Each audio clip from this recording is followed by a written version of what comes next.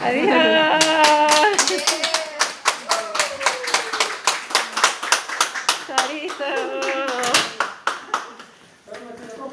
No, ahí no se. Espera un momento que le pongo el. Ah, vale, sí. Vale. Pónganse ahí. ¿Está por ahí, Pri?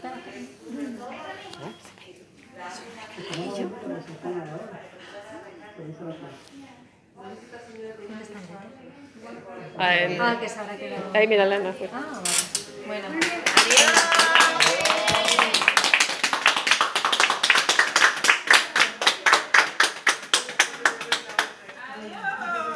Venga, nos vemos en los bares. Nos vemos en los bares.